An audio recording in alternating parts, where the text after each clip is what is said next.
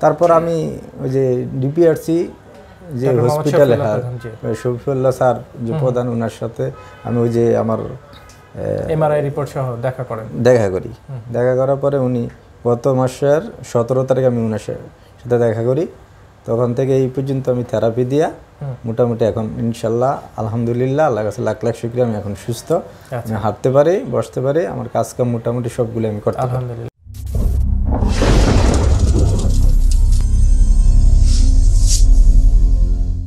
আসসালামু আলাইকুম।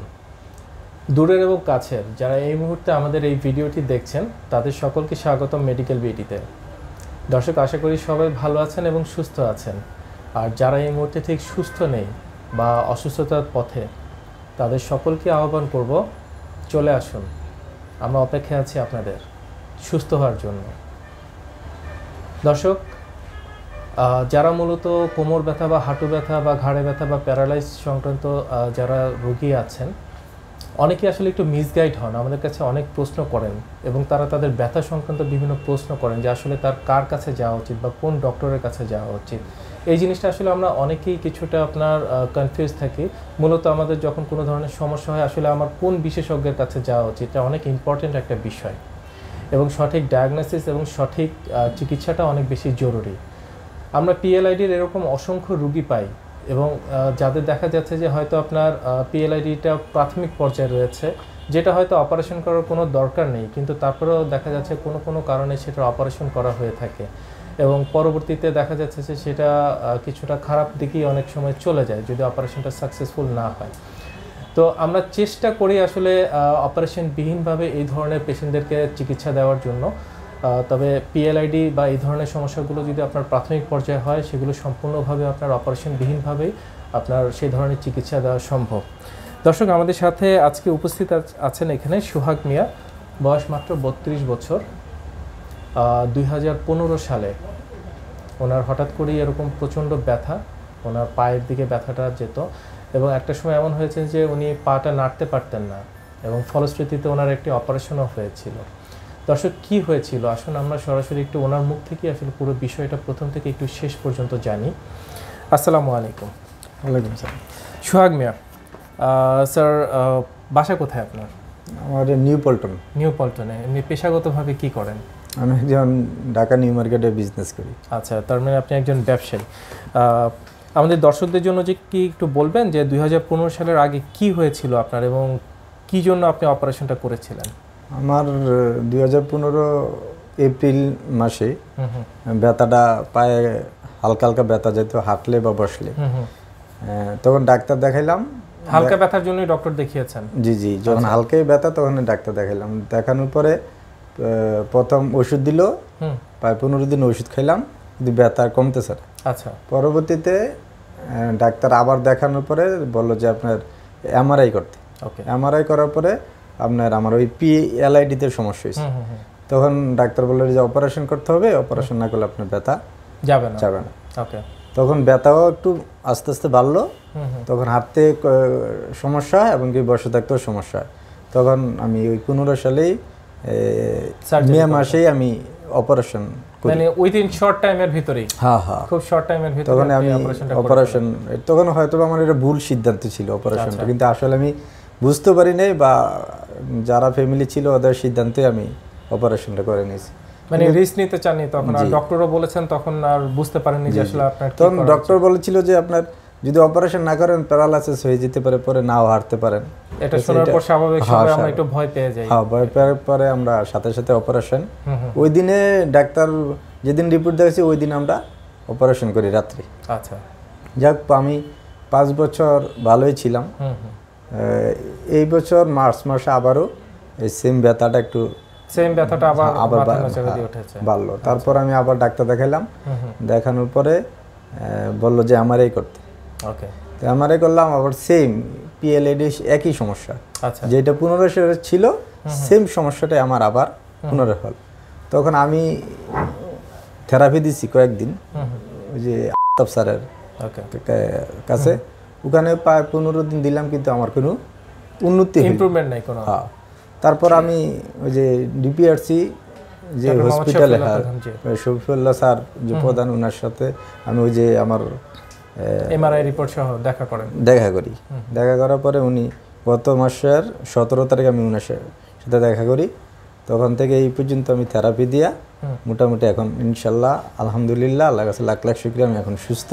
আমি হাঁটতে পারি বসতে পারি আমার কাজ কাম মোটামুটি সবগুলো আমি করতে আলহামদুলিল্লাহ। তার মানে আপনি যে স্বাভাবিকভাবে যে কাজগুলো আগে করতেন সেগুলো এখন মোটামুটি আপনি সবই করতে পারি। ভালোভাবে আপনি করতে পারছেন।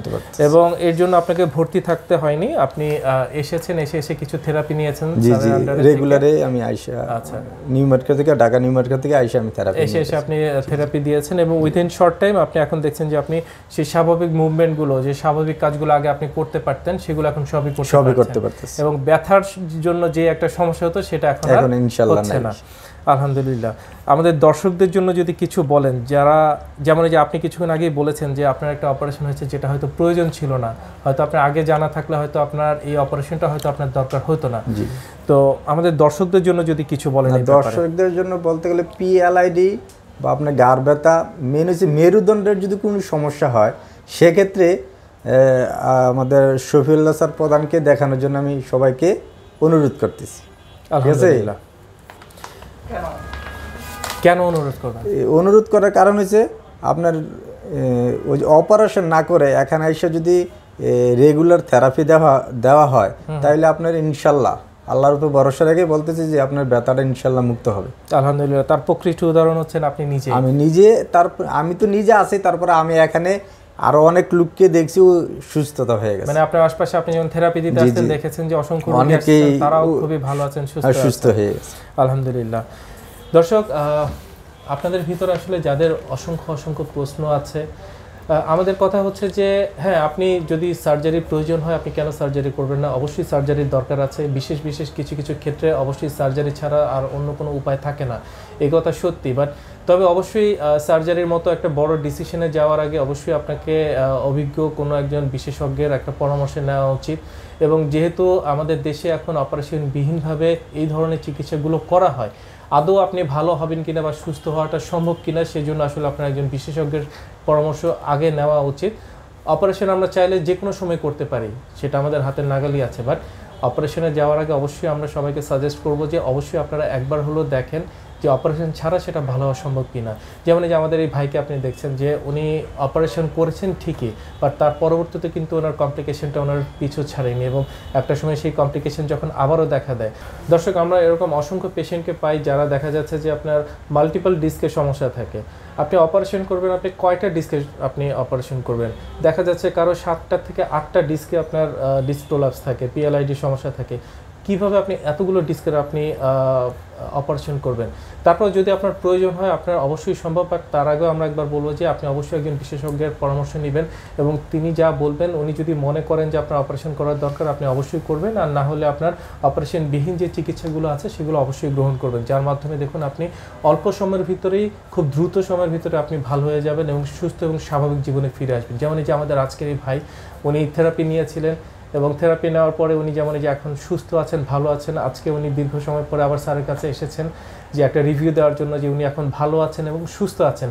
শুধু এটা বলার জন্য উনি আবার স্যারের কাছে এসেছেন। জি। সো এটা অনেক বড় একটা বিষয়। আশা করি আপনারা আজকের এই ভিডিওটা থেকেও অনেক কিছু আপনারা শিখতে পারলেন জানতে পারলেন। ধন্যবাদ আপনাদের সকলকে। আসসালামু আলাইকুম। আপনাকে অসংখ্য অসংখ্য ধন্যবাদ। আসসালামু আসসালামু আলাইকুম।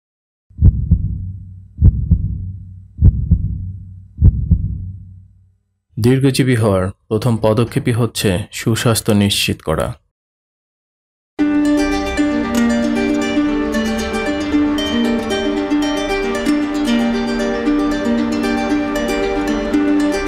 দেহ ও মন ভালো থাকলেই ভালো থাকে স্বাস্থ্য। আমাদের রয়েছে আধুনিক যন্ত্রপাতি। সঠিক ও স্ট্যান্ডার্ড মানের প্যাথোলজি পরীক্ষার নিশ্চয়তা। আমরা রোগীদের প্রতি খুবই যত্নশীল ও আন্তরিক।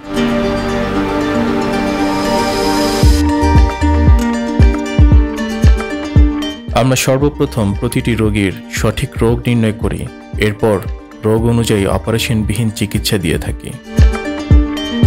আমাদের প্রতিটি ডক্টর, নার্স ও থেরাপিস্ট প্রশিক্ষণপ্রাপ্ত ও দক্ষ। আমরা প্যারালাইসিস রোগীদের নতুন করে চলতে শিখাই।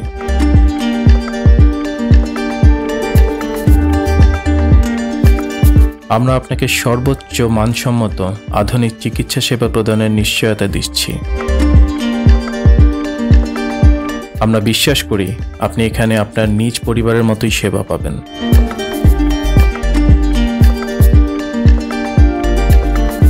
বাত ব্যথা প্যারালাইসিস ও আর্থ্রাইটিসের একটি নির্ভরযোগ্য প্রতিষ্ঠান। আমরা চাই না আপনারা বারবার আমাদের কাছে ফিরে আসুন। তবুও আমরা আছি সবসময় সর্বদা আপনাদের পাশে TPRC hospital and diagnostic lab limited. আস্থা বিশ্বাস ও নির্ভরতায় অবিচল।